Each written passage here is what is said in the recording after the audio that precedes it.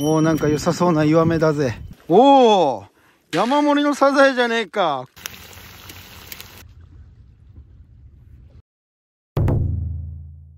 忙しさ探検隊忙しさ探検隊はいこんにちは。小島漁師浜優ですやってきました。皆さん大好き忙さのお時間です。今現在朝の4時半で気温は0度。なんでこんな寒い時にするかっていうとですね。潮がよく引くからなんですね。まず潮位の変化は月と太陽の引力。それから地球の自転と公転によって引き起こされます。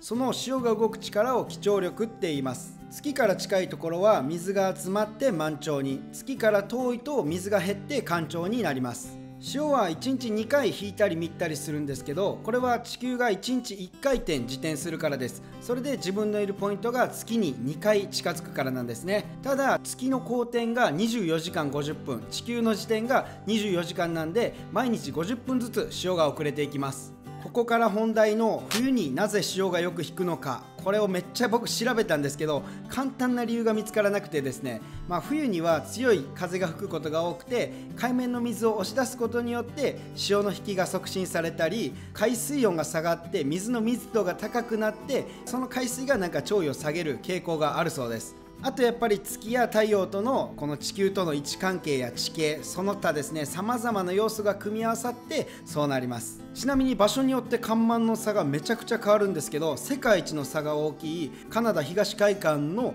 ファンデー湾ではその差は15メートルでなんと4階建てのビルに相当します。ものすごいですね。という理由からなんですね。で今日はこちらの食材を全部取って磯笠アヒージョを作って朝ごはんにしていきたいと思います。じゃあ遊びに行きましょう。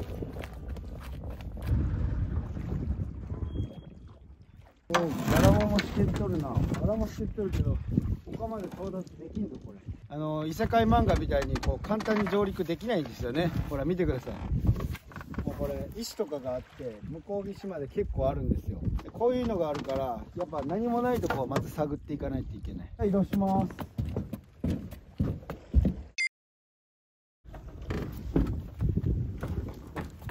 こういう棒とかがあるとあてがうのに便利そうです。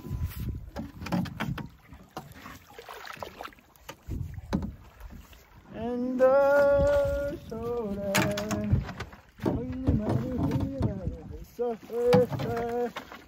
えー、夜中の変なテンション楽しい。というわけで上陸早速急がさせていきます。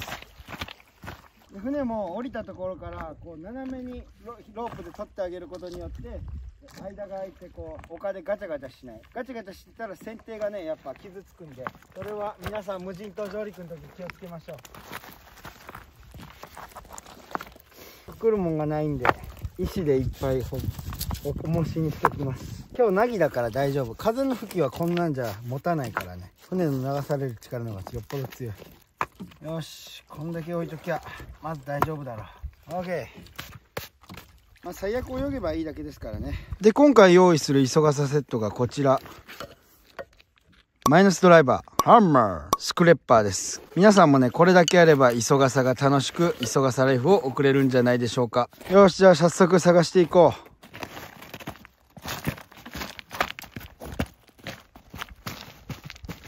じゃあまずはちょっと海岸沿いを見てみたいと思います。最近ずっと海藻がなかったんですけどちょっとずつ海藻が生えてますね。柄も系ですね。多分ですけど赤木っていう種類だと思いますほんとウニとアイゴが増えてから一気になくなって海藻がなくなって最近ウニも減ってますおおなんか良さそうな岩目だぜ僕が使ってるのは1万5000円するヘッドライトなんで爆光ですよあウニがいっぱいいるちょっと返してみましょうえいあー落ちた。よし、これも返してみよう。あ、帰らない。帰るように見えて、やっぱ、地球と一体化なってるやつは帰らないですね。この岩帰りそうですね。よいしょ。お、波が。おお、まず紫ウニですね。紫ウニはですね夏あんま身が入ってなくて今の時期多分入ってます。ただ軽いんであんま入ってないのと、まあ、こいつは取っちゃいけないんで放流ですね、まあ、磯焼けの原因になるから駆除してもいいんですけど。でも磯焼けも一概にあれだけが悪いとは言えないんですよね。なんかいろんな要素があるらしいです。でこちらはバフウニですね。北海道とかだったらあのエゾバフウニとかがすごい美味しいですよね。たまに縦網かかってきて子供の頃よく食べてました。最近かかることもめっきり減りましたね。でこちらいっぱいついてるのがダメ貝。こいつを湯がいてね爪楊枝でポロッと取って食うとちっこいサザエみたいで味は美味しいです。小学校の時はよくこいつを砕いて釣りしてましたね。ちょっと大きいやつだけ取って食べようかな。おほんでここにクモヒトデがいる。おおで、人手とか、こういうなんか、トゲっぽいものが出てるのは、極秘動物って言います。で、この子はですね、人手と違って、まあ、人手ってこの無数に生えてるやつ、こういうんで移動するんですけど、こいつの場合は自分で張って移動します。で、クモヒトデはめちゃくちゃ種類が多くて、世界で1500種類。で、日本でもなんと280種類ぐらいいます。違いが全然わかんないけどね。で、この子はですね、胃がほとんど占めていて、腸と肛門がないんですよ。で、こちら岩牡蠣ですね。でもこれは個体が小さいんでちょっとスルーします。でやっぱマナーとしてはこの返した石は戻してあげる。なんでかっていうとやっぱ岩のここの上にね海藻が生えてるんで海藻が生えてる方をそのまま元に戻しましょう。これが磯笠のマナーです。でちょっといろいろはぐってねあのまずお魚系を探したいんですよね。いない。若干土に埋もれてる系の石とかね魚がいたりします。よいしょ。ああ硬い。よいしょ。せい。いないな。結構こここういうとこにいたりするんですよね。ちっこ。めちゃちっこいカニ。こいつはわからないですね。お。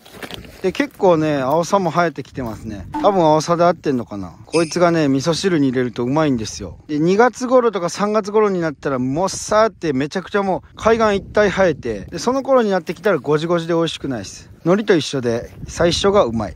よいしょ。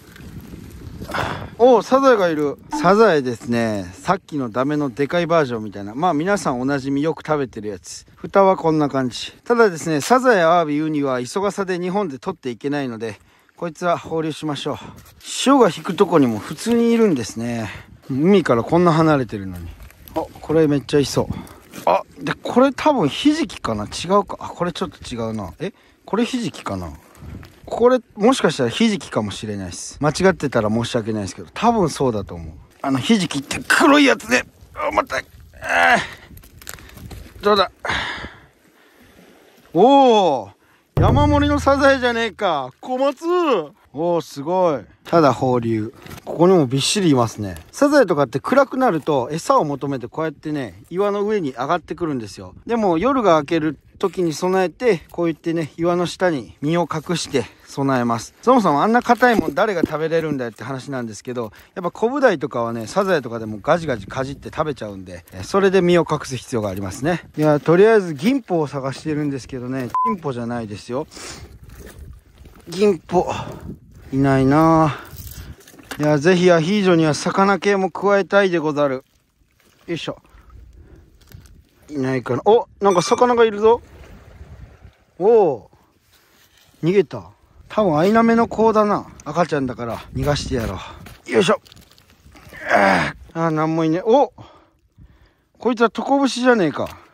トコブシですね。これ、アワビの仲間で、アワビよりは安いんですけど、面白い形。で、アワビと何が違うかっていうと、まずこの殻の見た目と、で、ここ、問題はここですね。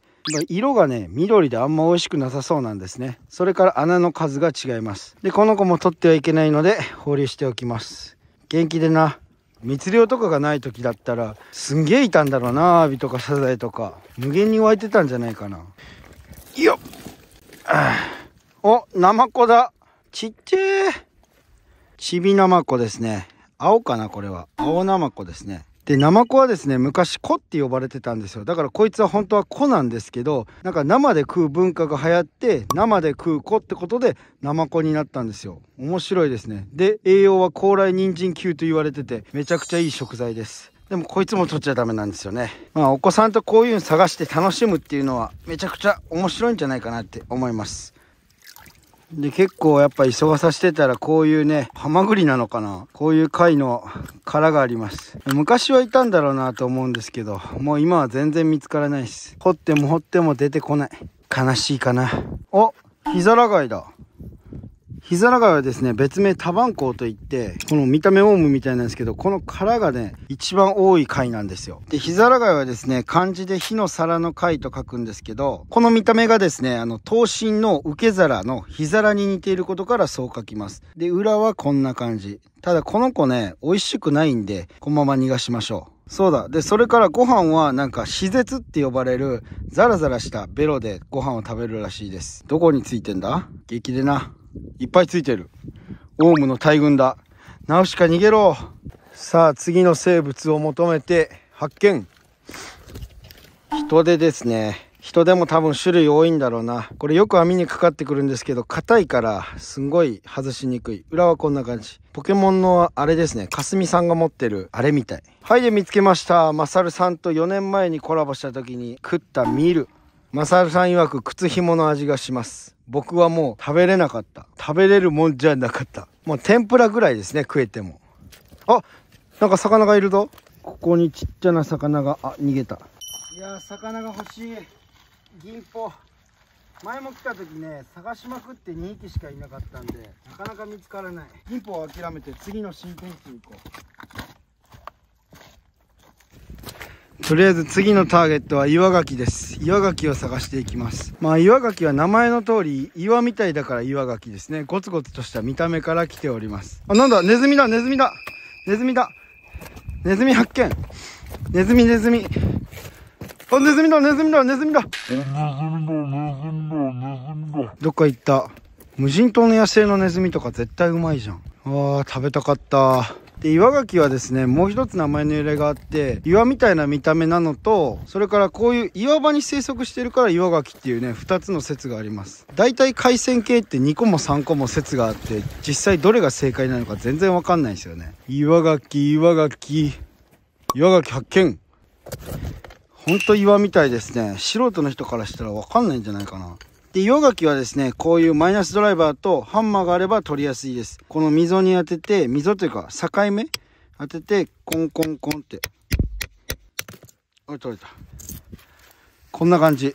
めっちゃ分厚い。縦長ですね。で、岩牡蠣はですね、卵の時に一度こうやって岩に付着すると、もうそこからずっと動くことがありません。だから筋肉が退化して、牡蠣のこの中身って筋肉がなくて、ほとんど内臓で形成されてるんですよ。で、岩牡蠣もマガキもそうなんですけど、別名海のミルクって言われてて、まあ、この白いね、見た目と牛乳みたいな様々な栄養が入ってるからなんですよね。お子さんにぴったりだ。じゃあ1個目のアヒージョの食材ゲット。お近くにこちら、亀の手がいっぱい生えてます。で、亀の手は見た目の通り、この亀の手みたいな見た目から亀の手です。で、亀の手は貝みたいなんですけど、生物学的には貝よりエビの仲間なんですね。だからエビ系の甲殻類となります。で、この子たちも岩牡蠣と一緒で張り付いたら一生そこで過ごして、このですね、傘をこうパカって開いて、海水を摂取して、それでご飯を食べるという面白い生態です。で、この子もあの別名があって、鷹の爪って言います。まあ、鷹の爪に似てないこともないけど、やっぱ亀の手の方が似てますね。小さいんで保留。はい、じゃあちょっと場所を変えましょう。こういう溝とかに魚がいたら面白いんですけどね。何もいない。ここにも隙間が。おアワビがいますね。当然アワビも取ってはいけないし、こんなちっちゃいのね、なんか持ってのほかですね。えー、ここで亀の手群生地を発見しました。あんまり大きくないな。これがちょっとマシか。で、亀の手ってあんま大きく見えなくても、こうやってね、そこから取って、ほじくると、よいしょ。思ったより大きく入ってます。で、ここに身が入ってるんですよ。じゃあ、なんぼか大きいやつ取っていきます。よし。じゃあ最後にこのでかいの取って、よし、これで OK。おめっちゃ藤壺も生えてる。たくさんの藤壺が生えてます。え？紫以外もいるじゃん。なんだここは。磯笠オールスターズ。お、おまけに松葉貝もいる。ここで全部磯笠完結しちゃう。よし、じゃあ大きい藤壺から取っていこう。硬結構藤壺硬いですね。で藤壺はですね結構群がってると思うんですけど赤ちゃんの時に仲間のいるところを探してこの何て言うん赤ちゃんの時でも海漂ってるんでこんな形じゃないですけど変な形で漂ってるんで仲間のいるところに付着しますこいつらは。だから群がってることが多いです。取れた。いい感じ。あんま美味しくなさそうな藤壺だな。で、この子たちもやっぱ他の貝と一緒で、着いたらほとんど移動することがないんで、仲間の元を求めて張り付く傾向にあります。亀の手とかも多分同じ理由でしょうね、全部。それと藤壺は結構漁師の悩みで、やっぱ船底とかに張り付くんですよね。それで、この水の抵抗が増えて、船がすんごい遅くなって、だから定期的に除去しないといけない生物なんですけど、今回はいただきましょう。で、この子はね、19世紀までは軟体動物と思われていたんですけど、今では貝と分類されております。これが軟体動物に見えるかって話なんですけどね、不思議です。で、この子たちもう一つ面白い性質があって、この子たちって私有動体なんですよね。だから、みんな、おっぽを持ってるんですよ。で、ちょっと一個取りますけど、そのおっぽがですね、藤壺の長さに比べて最大8メーターぐらいの持つ個体があります。だからここについていようと、ピューッとね交尾ができるわけなんですね。やっぱ種としてのその生存本能っていうんでしょうか。動けない分さまざまな進化を遂げているよと。また面白い。いやー亀の手は無限に生えてますね。亀の手だけ今度山ほど取ってなんかしようかな。こには紫以外とイソギンチャクだ。この子たちはこうやって物が近づくと閉じてで魚を捕食します。ちょっと今回アヒージョするに鍋が小さいので小さめの紫以外を探していきます。あと小さい方が味が美味しいというかでかいのってなんか気持ち悪いんですよね。ちょっとでかすぎて。で小さな紫以外を発見しました。ほぼほぼムール貝ですね。でこの子めちゃくちゃひっついてるんですよね。取る時はちょっとある程度取れたら回してあげると取りやすい。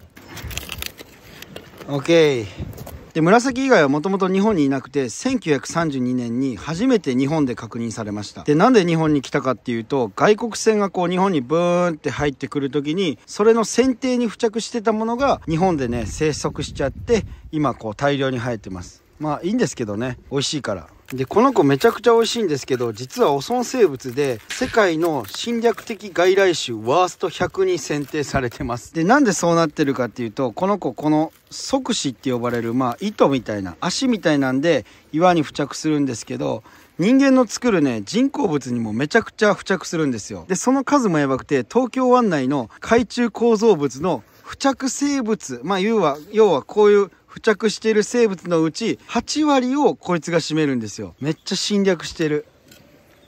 あ猿がめっちゃ鳴いてる。僕らが騒いでるからかな。あめちゃくちゃ紫じゃないわ。ピンクのエッチなイソギンチャクがいる。面白い。で、紫以外はですね、即死線と呼ばれるやつからタンパク質を出して、まあその溝を通って、この即死っていう、まあ足ができるんですけど、若いうちはですね、やっぱこう、ついて、うん、この家、やっぱ住みたくないってなると思うんですよ。そういう時は自分で即死を切り離して、移動して、ここがいいってなった場所で、また新たに根を生やすことができます。だから大きいうちは無理で子供の特権なのかなっていう。人間社会と逆だな。あったったった。銀포は無理だったんで、あとは松葉貝だけですね。危な。落ちたら死んじゃうよ。魚発見。おなんかほんで緑の。おー、食われる食われる。で、魚発見したんですけど、奥逃げちゃいましたね。あ、いたいた。いたけど、これ、ほら。あー、逃げちゃった。あ、ようやく松葉貝発見。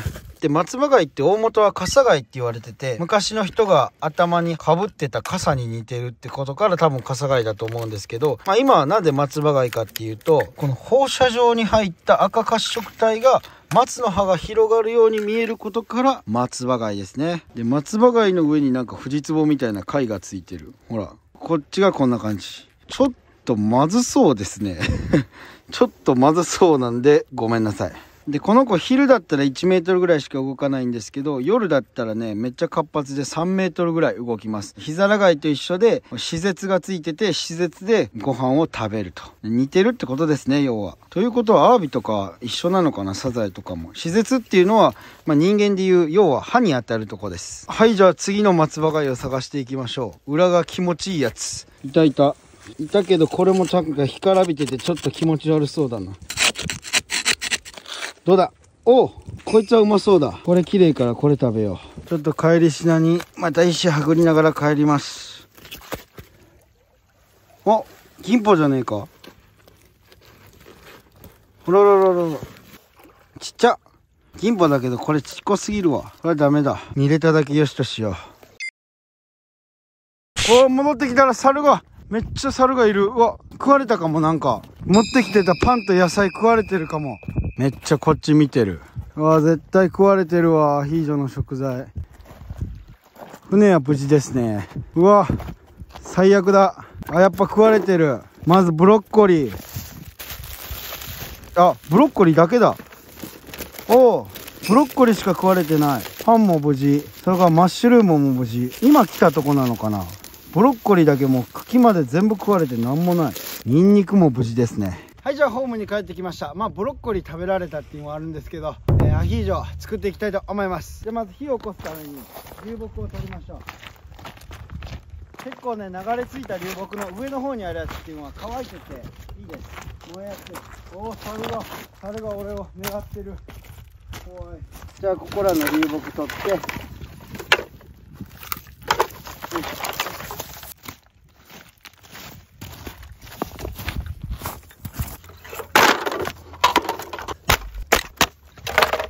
で火をつけます。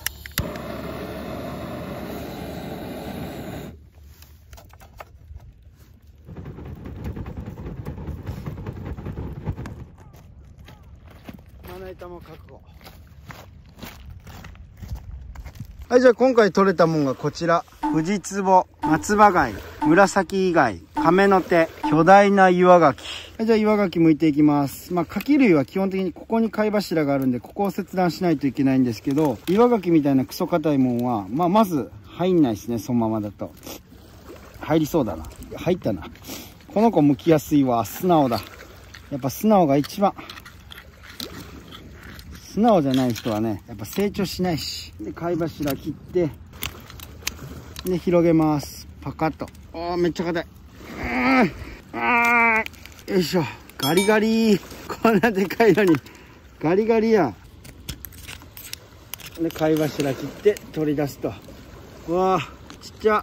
貝はこんなでっかいのに。取れた身はこれだけです。でカゴの中に貝類入れてこれを。洗います。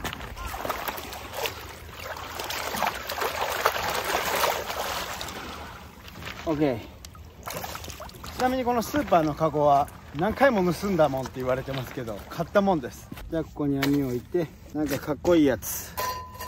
で具材を入れます。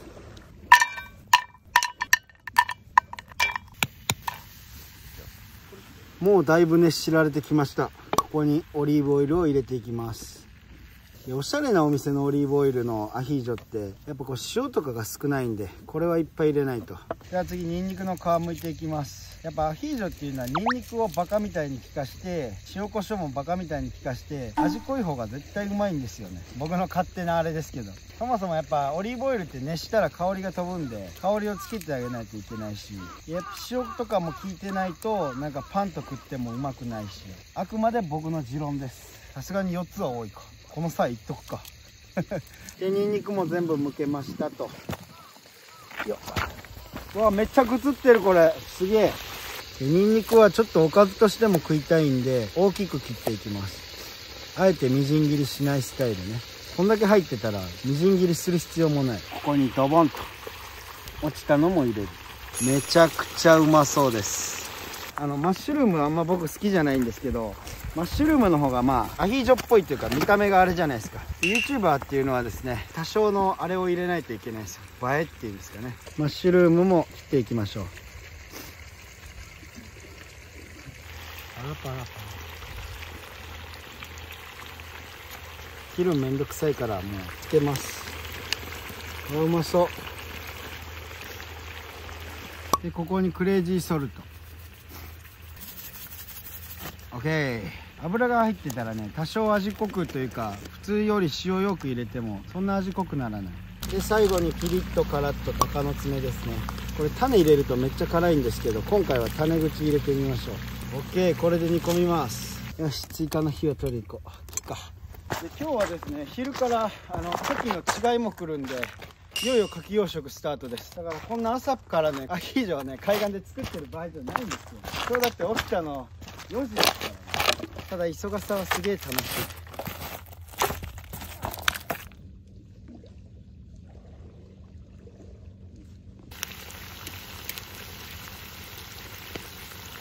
アヒージョといえばパンなんでフランスパン的なやつ買ってきました。やっぱちょっと斜めに切って大きくね。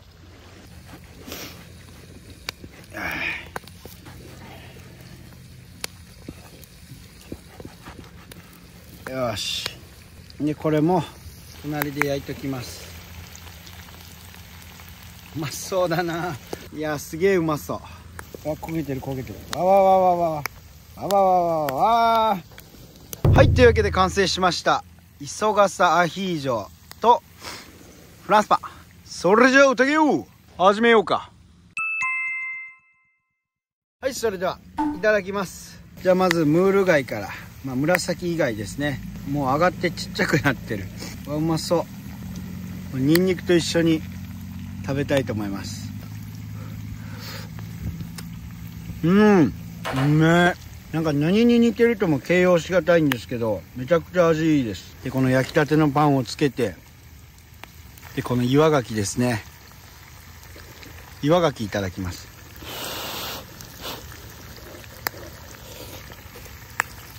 あーうまっ。味が濃い。パン。うわ貝のうまみが染み込んでる。にんにく磯笠パン。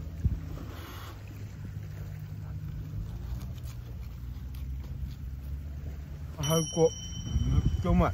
次は富士壺ですね。富士壺はこの中食べます。ちょっとなんかいろいろ入ってますね。ジャリジャリしたらうまみ半減ですからね。食べるとこつくねどれどれ。うん。ほとんど食べるとこない。湯がかないとちっちゃくなりすぎるな。で亀の手。亀の手はこの中にあるはず。お出てきた。揚げすぎてなくなったのかと思った。いただきます。こんな身が出てきた。うん。うまい。でもやっぱり紫以外がダントツですね。で最後に松葉貝。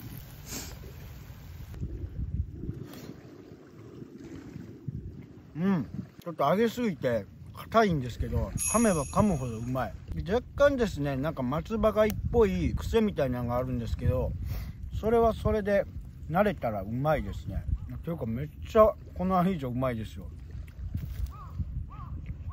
うん。でもね一番うまいのはニンニクとパンをつけた磯笠の出汁が染みたオリーブオイルとニンニクとパンで一緒に食うのがうまい。